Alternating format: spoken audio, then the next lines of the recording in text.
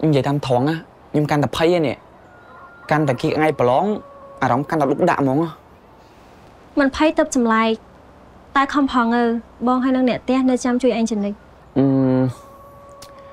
មានអីសង្ឃឹមទេបងបើរៀនដូចអត់សូវទៅមុខផងសង្ឃឹមអីកើតទៅអត់តន់ចូលសាយវៀនផងចាស់ចាញ់អាមើលតបងអើទោះជាអត់ប្រកែក៏ស៊ូបាន2ឆ្នាំដែរបងឯងខំប្រឹងប៉ុណ្្នឹងអីនៅតែបានផលល្អទៀត ចុះតរំតែខ្ញុំបងអត់មានខំអីតិចផងហ្នឹងចាស់មានតន់យឺតពេលណាអញខំប្រឹងពីឥឡូវទៅទោះបីជាមិនសូវប្រកែតិចច្រើនក៏បានផលដែរបាទបងខ្ញុំនឹងព្យាយាមការប្រកួតមានឈ្នះមានចាញ់អញ្ចឹងអញក៏មកទឹកចិត្តហឹមតាំងចិត្តជាអ្នកកីឡាត្រូវទទួលយកការពិតអាក្តាប់តែនេះមិនប្រកួតកីឡាណាទោះបីជាលទ្ធផលយ៉ាងណាក៏ក្រុមឯងធ្វើបានអស់ពីចិត្តដែរ ឯងគួរតែមានមោទនភាពដែលឯងអាចបន្តទៅកាន់វគ្គផ្ដាច់ព្រាត់បានមែនទេឯងសាក់កាត់ឡើងវិញមើលឯងខំជួសគ្នាមួយពុកដើម្បីចូលរួមការប្រកួតមួយហ្នឹងដើម្បីអីខែងថាដើម្បីបទពិសោធន៍ទេ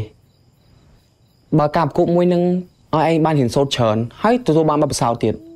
ហើយឯងនឹងគិតរឿងជលភីនឹងទៅអីទៀតទោះបីជាពួកឯងអត់បានជាប់លេខក៏ពួកឯងទទួលបានផលជាដុំកពួនដែរអញ្ចឹងមិនអីជាបញ្ហាតែខ្ញុំថាមានបញ្ហា បញ្ហាគឺពួកយើងជិះដល់ថ្ងៃប្រឡងបាក់ដប់អីហើយឯងមានពេលណាទៅធ្វើកម្រងនឹងបន្តទៀតអឺពុកច្បាស់ជាអត់ឲ្យឯងធ្វើវាទេព្រោះវាប៉ះពាល់ដល់ការប្រឡងបាក់ឌុបតែខ្ញុំបាននិយាយប្រាប់គាត់ហើយឯងថា